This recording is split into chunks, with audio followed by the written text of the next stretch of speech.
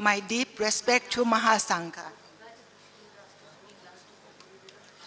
And greetings to my Bhikkhuni sisters. I stand here speaking on your behalf also. I would like to do a little verse of paying respect to Mahapajapati. It is only appropriate.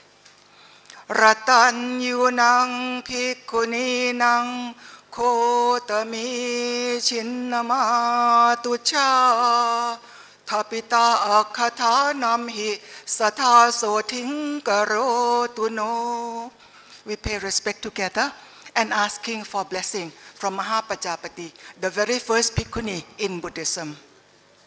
It is 128 years since the founding of Mahabodhi, Mahabodhi Society. And it is for the first time after 128 years that Mahabodhi Society is actually hosting international Bhikkhuni, Theravada Bhikkhuni ordination.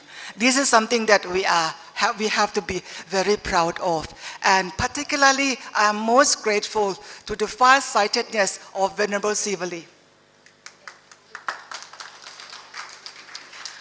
To make this possible, it is his initiative. And we just took after his, initiative.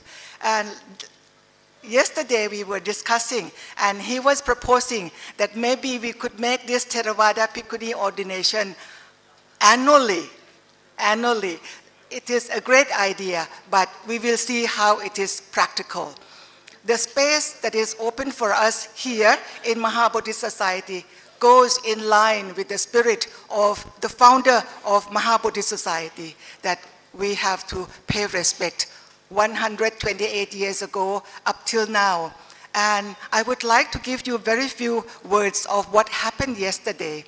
Uh, two days ago, the, the ordination was conducted under the banner of Mahabodhi Society of India. And 24 candidates were fully ordained as Bhikkhunis, Theravada Bhikkhunis. So uh, with your blessing, I trust that the Bhikkhunis will go forward under the guidance of our Bhikkhu Sangha.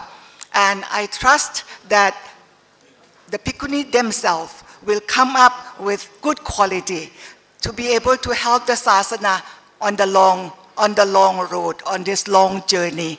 Thank you.